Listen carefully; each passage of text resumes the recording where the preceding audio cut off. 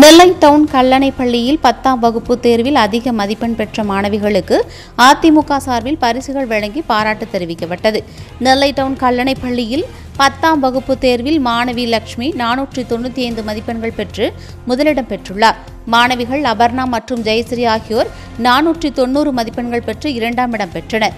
அபிராமி நானூற்றி எண்பத்தி எட்டு மதிப்பெண்கள் பெற்று மூன்றாம் இடம் பிடித்தார். வெற்றி பெற்ற மாணவிகளுக்கு அதிமுக நெல்லை மாநகர் மாவட்ட செயலாளர் தச்சை கணேசராஜா பரிசுகள் வழங்கி பாராட்டினார்.